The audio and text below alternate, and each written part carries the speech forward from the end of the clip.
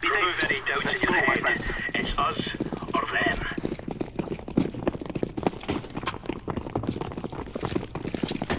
Decoys out.